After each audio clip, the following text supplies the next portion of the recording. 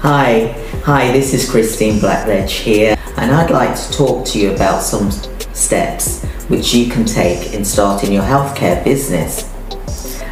I've given you some examples of what I did to achieve my goals of getting to where I wanted to be to start my own healthcare businesses, and I set up multiple ones. So, some of the things which I used to do is I would have to get up four o'clock in the morning before the whole household got up.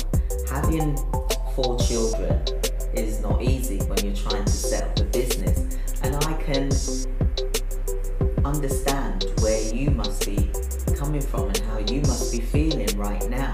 What obstacles are in your way stopping you from achieving starting a healthcare business? We all want to leave a legacy for our family, our loved ones.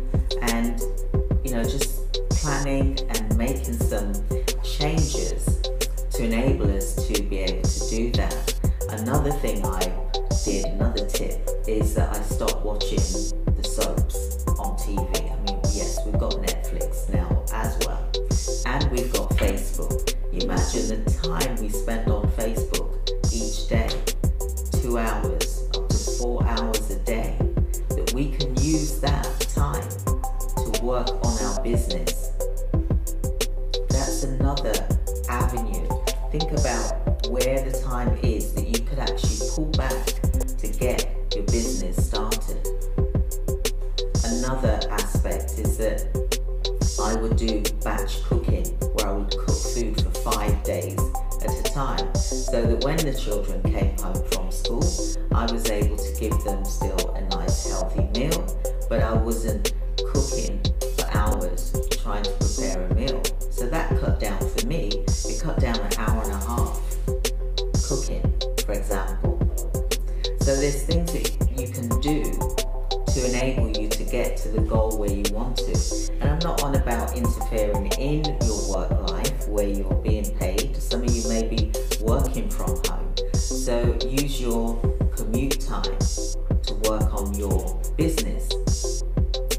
And with there's lots of things that you can sit down and write down and think where can I get this time to make a start on my business and get it set up and, and, and running. You know, we're, we're in 2021 now. Anything is possible now. We're in such a strong position. And for you to be able to, for example, run a race or to win a race, you need to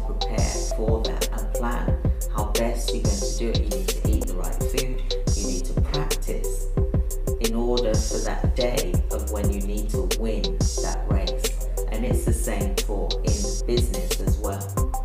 And I just wanted to touch base on that and to give you some tips which you can do to enable you to get your business started. Of course, we do our boot camps as well, but we've got our free web classes as well. And I just want you to make a plan, get an action plan together and write what it is that you need to do and where you're going to get that time. What time are you going to create with you? Make a date with yourself of when you're going to work on your business, and this will help bring you closer to your goal. I hope that served you well. I hope that that's resonated with you.